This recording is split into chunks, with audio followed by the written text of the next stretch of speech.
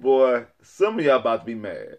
Some of y'all about to be real, real mad. Y'all about to be higher than 45. It's about to be some real smoke in the city. Luckily for me, I'm impartial. What's up, YouTube? Your boy back once again with another sport topic, and today we're gonna talk some football. Houston Texans football. Today we're gonna talk about, hey, some of y'all need to go ahead and get on the CJ Stroud train. Y'all really might have to get on the CJ Stroud train. We're gonna talk about, we're gonna break it down before we get in there, like I'm telling you before. If you're liking the content, man, make sure you're liking the channel. Make sure you subscribe to the channel. Make sure you're watching all the videos. Make sure you comment all the videos. Make sure you're sharing all the videos on all social media platforms Instagram, Twitter, Facebook, TikTok, Snapchat, any type of social media platform you use. Make sure you share it on the same social media platforms. Also, follow me on social media. Link in the description below. Hey, we trying to get this channel growing and growing. It's draft time. It's the you know, NFL all season. You got a uh, uh, training camp, and not training camp, but I mean uh, uh, free agency. All these things, like I said, draft about to come up. So, hey, so I need this channel to grow, man. I really, really appreciate this. Hey, man, get this channel growing and growing and growing.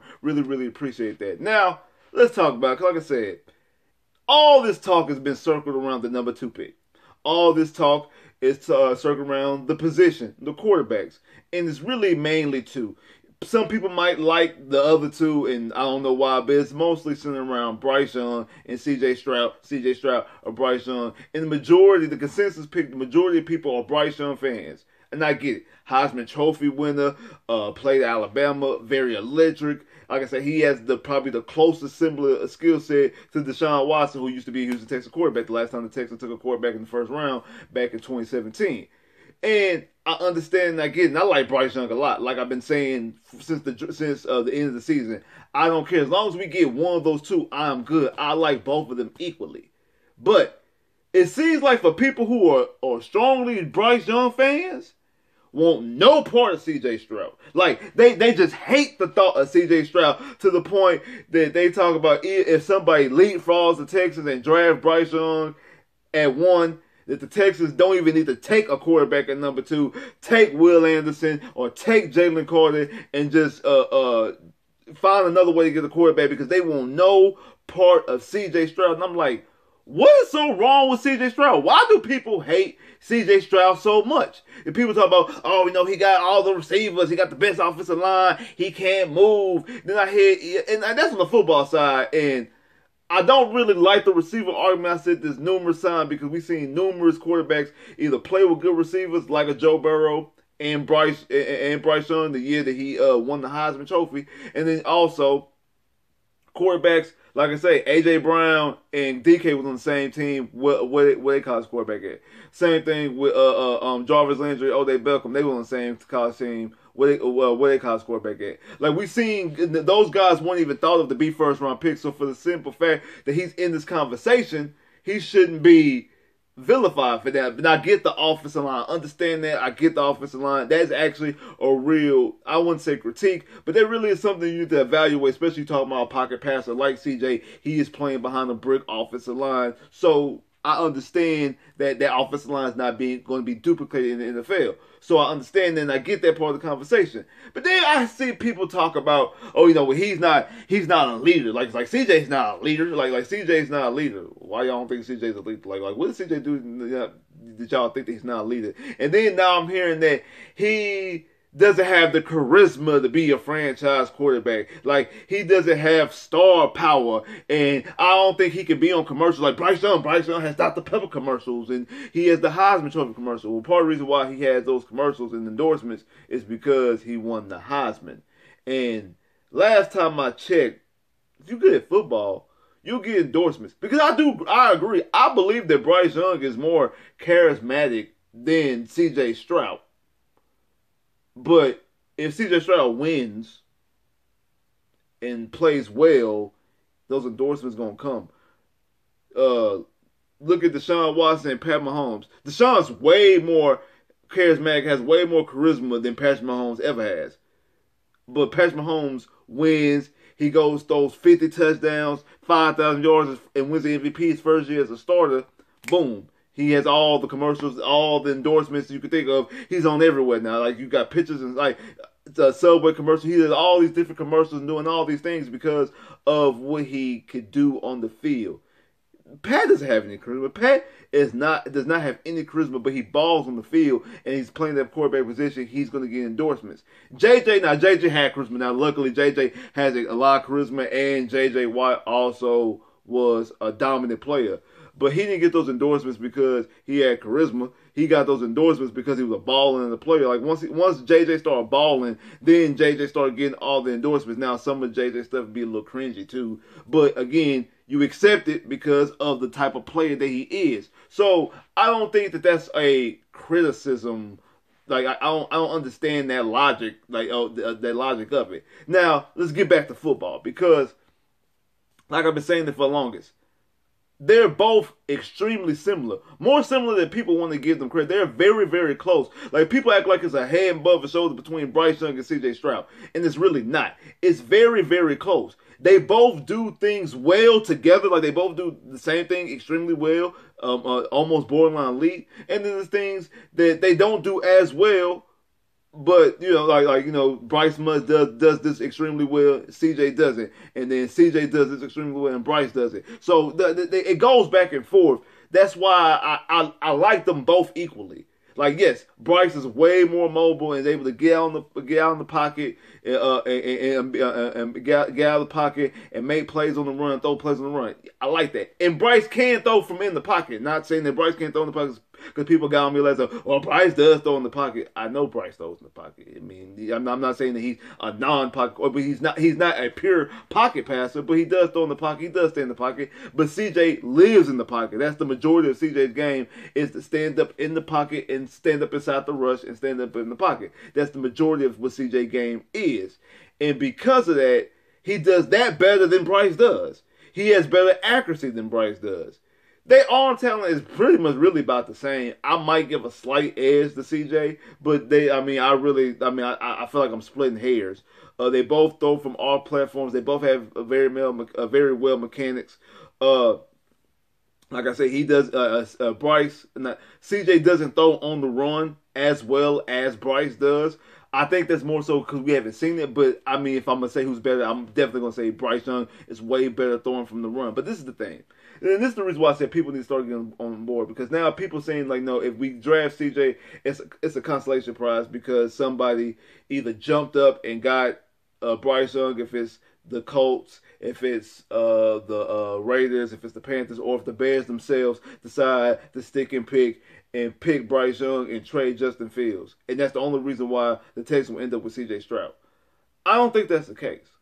That's the reason why I say that, that I think that y'all might want to start getting on the CJ Stroud train because I can I definitely see a, a, scenario. I think it's a strong scenario actually that if the uh, Bears take Will uh, uh, Will Anderson in one and at two both Bryce Young and CJ Stroud are both there at two, the Texans take CJ over Bryce. I know people are like no.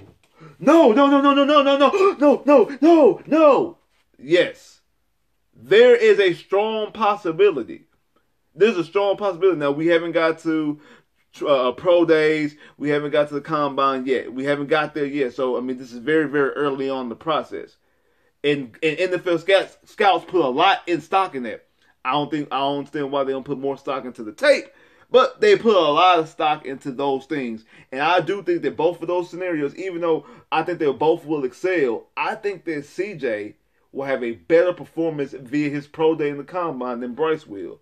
When it comes to just standing up in the pocket, throwing, you talking about script, you talking about scripted plays. You're talking about uh, um, play, throwing to receivers that you know very well, especially at your pro day. Uh, um, uh, so I said scripted plays. You're gonna you're gonna do all the things that you know how to do well, and you're not gonna do too many things that you don't do well and you're just to basically highlight all your attributes and highlight all your strengths I think he's going to he's going to go out there and, and out, he's going to be in that type of situation and he's going to outperform. Remember, I think they both were in the, with the Elite Eleven, uh, being coached by Jerrod Johnson, who is also the quarterback coach of the, of the Houston Texans now. CJ and Bryce were in there together because they came out the same year. Came both come out of California, and CJ won the MVP. Being coached by Jerrod Johnson, who is the quarterback coach for Houston Texans. Um, we talk about the Dr. Pepper commercials and the Heisman Control commercials. Again, he got those things because of he won the Heisman. Um, CJ also uh, he has the same marketing agent, if I'm not mistaken, as Deshaun Watson. And he said he told them during the season, "Hey, dial some of that stuff back. I want to get focused on football. I want to keep the main thing the main thing because that stuff gonna come if I'm playing football. Like I can have all the endorsements in the world, but if I'm trash at football, that don't mean nothing. I'm good and excel at football. All those endorsements are going to come. And so CJ to me strikes me as a very, very football junkie. Not saying that Bryce is not a football junkie. I, I don't know. I, I don't know if Bryce is a football junkie or not. I'm assuming he is, especially being with Bill O'Brien, being with Nick Saban in Alabama. I assume that he is. But as of right now, from what I've seen and what I've heard, CJ strikes me as a huge football junkie. We all know that Nick Caserio is an extremely huge football junkie. We know from the things that DeMeco Ryans has said and also the way he played, the way he was able to coach, and the way he was able to uh, uh, be a captain as a rookie, able to earn the name Cap as a rookie, earn respect from his teammates as a rookie, how he's able to soon see Brian Cushing pour into Brian Cushing to advance Brian Cushing, help Brian Cushing grow as, and become Office Rookie of the Year, that he's a football junkie. So I'm saying when you have these meetings and when you have these pro days and you have these combines and you have these personal workouts and you're bringing these guys in and you're sitting across from this person breaking bread with this person, you can be able to weed out, you know, just coach speak and just you know saying the right thing. Because I don't think none of these guys are going to go in there and say this say stupid things, but you're able to get a feel and know exactly what if a guy is being genuine or for guys just talking just to be talking.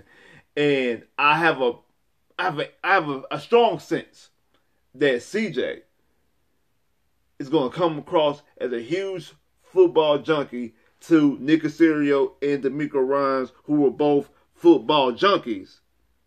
And that's going to bode well in his favor. Then you click on the tape and you watch all the things he does well you watch the combine, you watch the pro days and things like that, all the things that he does well, then all the things that you like off the field or checking off these same boxes, then you have the prototypical size 6'3, 6'4, 215, 220, 225, wherever he's going to end up weighing inside and, and, and uh, weighing and, uh, and, and get and get his size, his height. All these things start checking off, and not to mention again, Jerrod Johnson knows both of them well.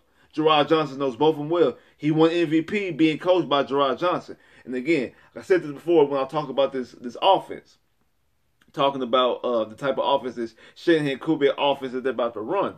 Like I said, this offense really boasts a lot well for running backs and tight ends. It gets you thousand yard running backs. It gets you thousand yard tight ends. They do that at nauseum in this type of offense. That's what this offense is really predicated and built upon. Look at all the running backs and tight ends that been in this offense play action pass is a very key thing, and Bryce does very well play play action pass.